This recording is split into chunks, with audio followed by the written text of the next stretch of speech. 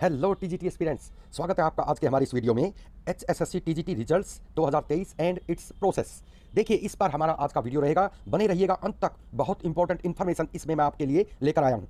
देखिए, सबसे पहले मैं क्या कहना चाहता हूँ, बहुत से एस्पिरेंट्स को इस बात से एतराज़ है कि आप प्रत्याशियों को यह कहकर डरा रहे हो कि डॉक्यूमेंट्स की जाँच बड़ी ही बारीकी से हो रही है। देखिए स्टूडेंट्स मैं भी आपकी तरह हरियाणवी हूँ। और मुझे वो बात, ऐसी बात सुनकर मुझे वो बात याद आती है, जो हरियाणवी में कहते हैं कि टक्कर वाला ऊँट पहले अड़ावे टक्कर वाला ऊँट पहले अड़ावे आप समझ गए होगे, कहते हैं कि डॉक्यूमेंट्स को मैनुअली चेक किया जा रहा है। कोई सॉफ्टवेयर की मदद नहीं ली जा रही है। मतलब मैं नहीं कह रहा हूँ, ये बोल रहे हैं, भाई कोई डॉक्यूमेंट्स गलत होगा तो उसको तो चेक किया ही जाएगा।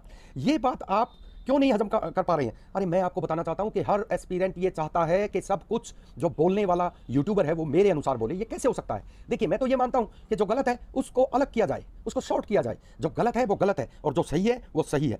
नेक्स्ट देखिए नेक्स्ट वीडियो में क्या है? जो डॉक्यूमेंट्स यूजीसी अप्रूव्ड यूनिवर्सिटी का नहीं होगा या फ्रॉड होगा वही तो चेक किया जाएगा। आप देखिए, जिस पे हमें डाउट नहीं है, उसको चेक क्यों करेंगे? तो एचएसएससी वही तो कर रही है। और मैनुअली जो डॉक्यूमेंट आपने अपलोड किए हैं और बाद में जो आपने डीवी में जमा किए हैं, उनमें समानता है या नहीं, ये भी तो चेक होगा। और ये चेक कैसे होगा, ये भी मैं आपको बताता हूँ कि ये चेक ऐसे होगा। देखिए, कहने का अभिप्राय यह है कि जिन विद्यार्थियों ने थोड़ा बहुत एरर करेक्ट करके दिए हैं, यानी डॉक्यूमेंट्स डीवी में, बाद वाली में नेम करेक्शंस इंप्रूवमेंट या अन्य और कोई छोटी मोटी गलती ठीक करवाकर तो वो कोई बात नहीं। देखिए, पहले आपने अपलोड कुछ किया, लेकिन अब बाद में करेक्शंस के बाद थोड़ी बहुत correction name father name mother name पता नहीं क्या क्या वो कोई करेक्ट कराकर आपने डॉक्यूमेंट्स डीवी में दिए हैं फ़ाइल बनाकर दिए हैं, उनको चेक किया जा रहा है कि जो जेनुअन डॉक्यूमेंट है, जिनमें थोड़ी बहुत करेक्शन हुई है, वो सही है नो प्रॉब्लम अगर डॉक्यूमेंट्स टोटली पहले और बाद वाले मैच नहीं है तो वो तो चेक होगा भाई। आपको गुस्सा क्यों आ रहा है? आप देखिए प्रोसेस चल रही है रिज़ल्ट भी आएगा, ज़्यादा दिन नहीं है। एक महीना ही तो लगेगा। आ जाएगा। देखते जाइए आप, सब कुछ होगा, लेकिन समय अनुसार होगा। ये भी आपको देखना होगा, जो डॉक्यूमेंट्स वो चाहें, किसी भी यूनिवर्सिटी का है। यदि आयोग को डाउटफुल लगेगा तो उसकी सत्यता की जाँच तो होगी। नो डाउट ये सभी को पता है। अब वो चाहे फ़ोन कॉल पर हो या सॉफ्टवेयर से हो, उससे कोई फ़र्क पड़ने वाला नहीं है। आपको दर्द क्यों है? ऐसे प्रत्याशी भी होते हैं जिसका एक डॉक्यूमेंट गलत हो, या ज़्यादा भी या सारे भी। बस डरना तो उन्हीं को है ना? वही तो मैं कह रहा हूँ ना कि टक्कर वाला ऊँट पहले अड़ावे।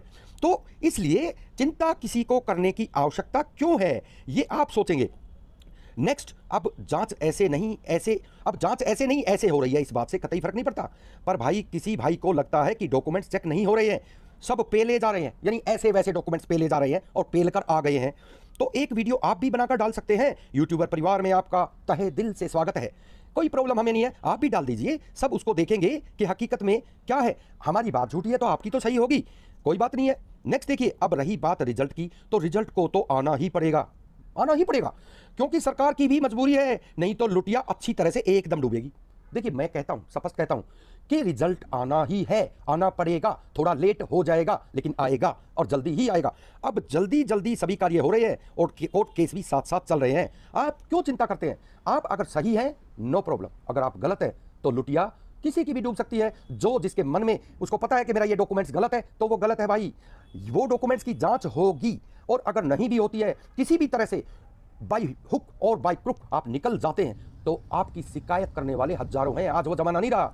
हर एक दूसरे को एक दूसरे के बारे में पता है कि वो क्या है और उसने क्या क्या किया है। नेक्स्ट हम आते हैं। 24 अगस्त के बाद डीवी प्रोसेस पूरी होने के साथ ही रिज़ल्ट की तैयारी। की प्रोसेस एचएसएससी द्वारा पूरी प्रक्रिया से फ्री होने के बाद और भी तेज़ी से शुरू कर दी है, दी गई है, क्योंकि अब सारा कार्य केवल एचएसएससी को ही कंप्लीट करना है।